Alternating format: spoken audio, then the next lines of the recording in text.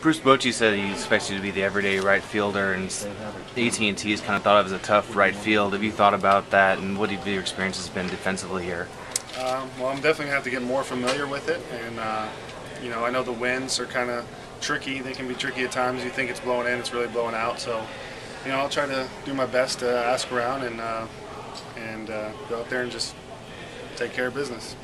Yeah, I mean, you're kind of known for uh, this guy banging How does this one compare to some of the other ones? I mean, I, I mean that in all seriousness. Some are harder than others. And what, I think uh, I fell down on the mound one time here. That's kind of in the way. I don't remember if you remember that. It, it sniped me when we were, y'all were beating the Astros like 13 to 1, and I ran after a foul ball and face planted. so um, I, I know where that is now.